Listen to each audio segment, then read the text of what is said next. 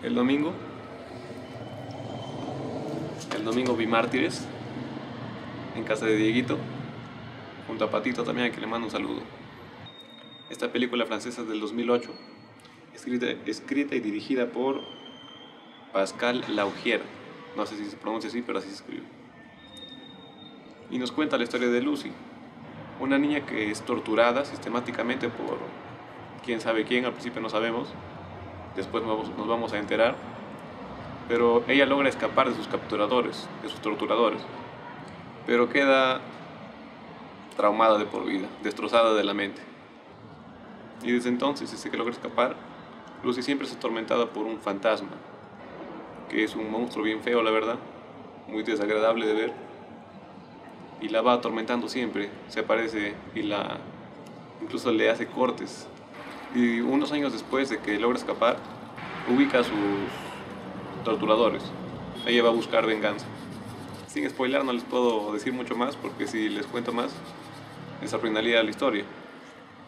Así que si les gusta el terror y tiene un poco de drama también, les recomiendo mucho que vean esta peli. Si no has visto la peli, cierra el video porque voy a spoilear ahorita. Voy a proceder a la spoileada.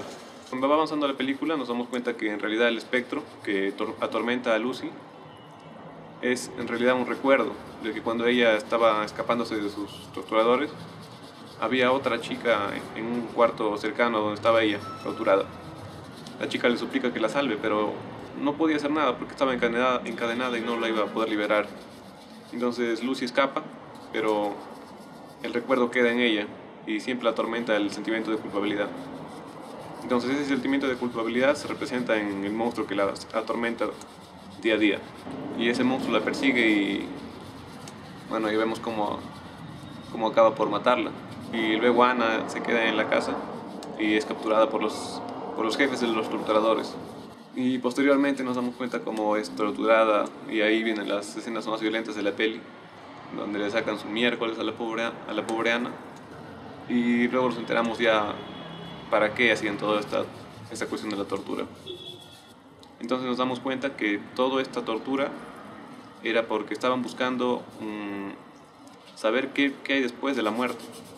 Porque cuando una persona sufre tanto, bueno, según era su teoría de, de ellos, sufre tanto y sobrevive, se encuentra como entre un limbo entre la vida y la muerte. Entonces lo que buscaban ellos era encontrar a alguien que sobreviva hasta a esa tortura. Entonces Ana sobrevive a esa tortura y le cuenta a la jefa suprema de la organización lo que, lo que vio. Y sin embargo nos quedamos con la duda, ¿no? De qué era lo que vio Ana, porque ya vimos qué decidió hacer la jefa suprema de la organización.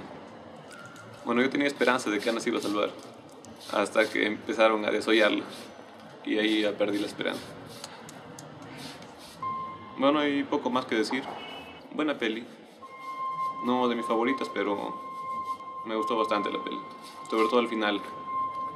Así que si les gusta el cine de terror, esta peli les va a gustar. Si viste la peli, te agradecería que me digas qué tal te pareció en los comentarios. Esta cámara es viejita, pero tiene buen zoom. Con esta grabé el supuesto ovni, que resultó ser un globo.